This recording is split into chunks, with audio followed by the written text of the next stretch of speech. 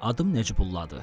Rusiyanın Soçi şəhərindən gəlmişəm. Həyat yoldaşım Samirəni, qızlarım Səbinə və Noziyanı axtarıram. Yoldaşımla Rusiyada 2011-ci ildə tanış olmuşam. O daha əvvəl evli olub. Keçmiş nikahından da bir qızı və oğlu var idi. Hətta ailə qurmazdan əvvəl mən onun keçmiş həyat yoldaşı ilə danışdım. Mənə dedi ki, Samirə ilə artıq heç bir əlaqəsi yoxdur. O azaddır. 2012-ci ildə biz ailə qurduq. Dini nikah kəsildi.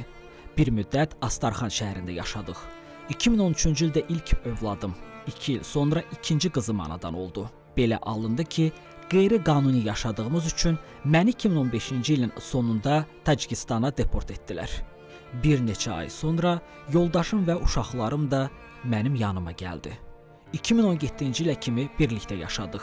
Həmin ilin avqustunda yoldaşıma zəng gəldi. Ona dedilər ki, anasının vəziyyəti ağırdır və o qızını görmək istəyir. Mən bilet alıb uşaqlarımı və yoldaşımı Astarxana göndərdim. Oradan Azərbaycana keçməli idilər. Həmin vaxtda mən Tacikistandan Rusiyaya keçmək istəyəndə polis tərəfindən saxlanıldım. Yəni onların arxasıca gedə bilmədim. Sonuncu dəfə 2018-ci ilin fevral ayında yoldaşımla danışdım, sonra əlaqəmiz kəsildi. Daha doğrusu o əlaqəni kəsdi. Mən Tacikistanda və Rusiyada polisə müraciət etsəm də, axtarsam da onları tapa bilmədim. Bildiyim qədərilə anasıgil Beyləqan rayonunda yaşayıblar. Mən onun bacısı Kamilaya da zəng etdim xəbər almaq üçün.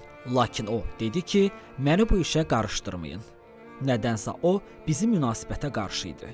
Daha sonra mən Azərbaycana gəlmək istədim. Lakin bu səfər də koronavirus araya girdi, sərhədlər bağlandı. Nəhayət ki, indi mən burdayam. 7 il keçib.